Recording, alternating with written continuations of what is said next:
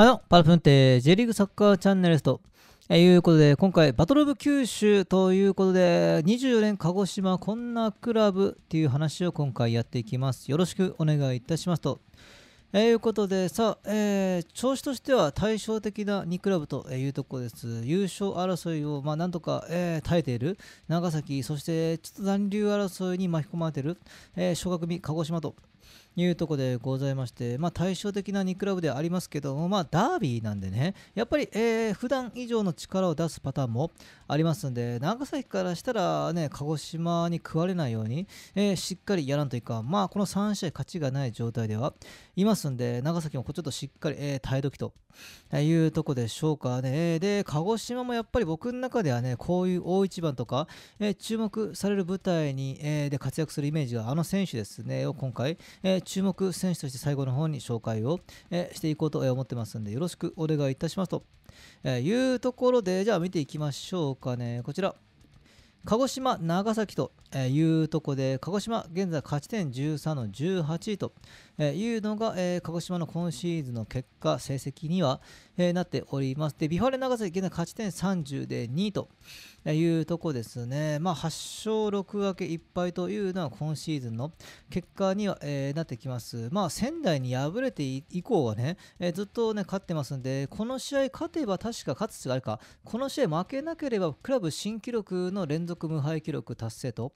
いうとこで、長崎からしたらこのダービー鹿児島戦で一つね、まあ、勝つか引き分けるかで、えー、新記録、クラブ新記録達成というところでございます。まあ、ただやっぱ勝つことができるかどうかっていうのが長崎はやっぱ主眼に置いているでしょうし、鹿児島はホームでダービーですけども、めちゃくちゃリアルに考えれば、まあ、どっかのタイミングで引き分けでもいいのかなっていう時間帯が来るかもしれません。例えば後半のね、80分とか、85分過ぎた状態で、まあ、ドローンの状態とかね、えー、最低勝ち点1を持って帰れるぞっていうとこが80分から85分とか、まあ、続けばね、そこでちょっと守備的になる可能性がある、まあ、順位的にも状況的にも勝ち点1でも得られればいいみたいなのは鹿児島、まあ、ダービーとか度外視したら、そういうところとの関係には、えー、なってきますんで、鹿児島からしたら多分最初は絶対勝ち点3をね、えー、狙いに来るんでしょうけれども、どっかのタイミングで、まあ、現実を、えー、見る時間が来るかもしれません。だから鹿児島からしたらどんだけね、同点の場面をとか、えー、スコアレスな状態をとかを作り続けることができるかというところはちょっと鍵には、えー、なってきそうですですし、逆に長崎からしたら、ね、ちょっと鹿児島が引いた時間とかで、えー、どんだけ、ね、叩き込むことができるかどうかと、えー、いったとこでしょう。さあ、えー、この試合、両者にとって重要なゲーム、まあ、鹿児島からしたらダービーなんでね、勝てば勢いに乗るでしょうしね。で、こちら。これが前回、両チーム先発メンバーには、えー、なってきます。まあ、やっぱり警戒すべきは田中航、藤本ラインというところはね、うん、警戒したいところかな。やっぱ天才肌の田中航と、ね、やっぱ藤本っていうね、もういろんな経験してきて、もうラインブレイクもうまいし、こういう大舞台というか、注目される舞台は彼はね、で大得意ですし、ね、大好物でしょうしね。まあ、藤本選手がね、輝く可能性がある。まあ、先発であれ、途中からですけども、ちょっとやっぱ藤本をどうされるかちょっと一つ鍵には、えー、なってきそうですよね。で、センターバック、茨城選手も高さはないんだけども、でも空中戦強いみたいな、えー、いろんな経験してきた選手もいますしね、ちゅうとこでございます。で、えー、長崎は前回、秋の山田をダブルバンチとして使ってきました。まあ、451というか、4213というかね、えー、中とこで、まあ、普段が433なんで、なんかね、433だとね、スイートップになるし、もちろん433の3なんでね、えー、でもなんかね、4213っていう表記ってマイナスぐらいであんまりないですよね。なんだろうあれちょっと僕もね、このフォーメーションとかシステムの表記のところはね、なんかいろいろね、過去聞いたことがあるんですね。まあ、例えばね、もう4213でいいとこれで思うんですけども、ただまあ考えようによっては4 5-1だよねみたいな、えー、ね、表記もあって、で、これだから監督がどう言ってるかみたいな。ことをね、過去誰かかな、誰か、誰だ、浦和フットボール通信さん誰かかな。か誰かが言ってた気がするんですけども、まあ、4213と451の違いって何ですかって。いうところで、まあね、451も423、えー、4213もなんかね、雰囲気は。変わんないんじゃないかっていうところには。なってきますが、まあ、それは監督がスリートップって事前に、えー、まあ、キャンプとか過去の取材から言ってるかとかね、えー、ワントップと言ってるかどうかとか、なんかそれによって変わるっていう話は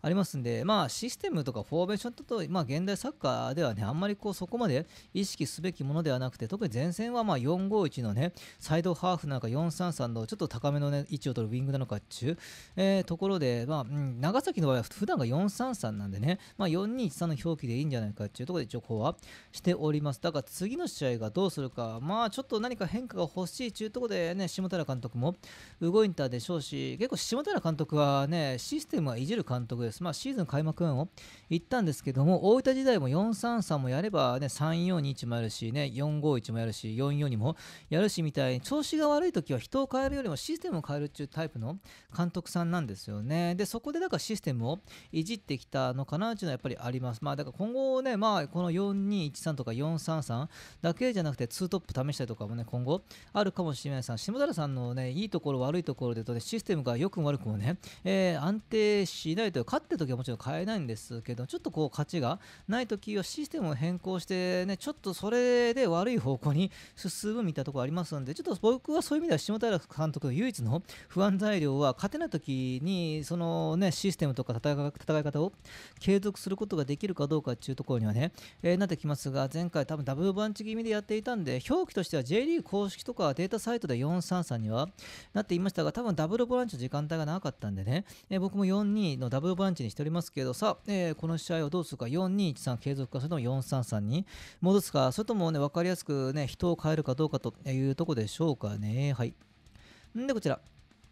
えー、これが両チーム、数字的な話には、えー、だってきます。チャンス構築、そうですね。鹿児島、まあ、順位的にもね、あれですし、まあ、やっぱデータ的にもそんなによろしくはないという数字が、えー、並んでおりますね。長崎はチャンス構築率も1位で、やっぱ得点ところは相当いいというところ、オフェンス面も相当いいし、守備も全然悪くはない。まあ、言うなら非チャンス構築率が15位でね、保持、まあ、保持型っていうか、ただ、あんまり今年の下平さんは昨年のようにそこまでポゼッションにこだわってる感じもね、しないというところもあります。大前提は自分たちで保持していこうというところになってきますが、まあ、時間帯とか流れによってはね、全然そこで相手にボールを持たせておいて耐える時間も作るみたいなところには、なりますんでね、まあ、非チャンス構築率の15位、ここここどうね、改善するかっていうところでしょう。やっぱ悪い時間は長崎もね、悪い時間が続くみたいな ところがありますんで、だから本当ね、大分戦に関しては後半ね、差し切って欲しかったし、前回岡山戦に関しては前半で、えー、差し切って欲しかったっちゅう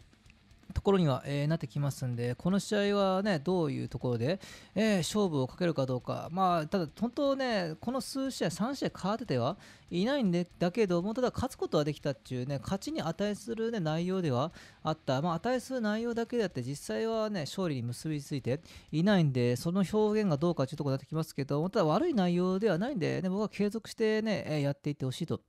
いうところですね。で、こちら。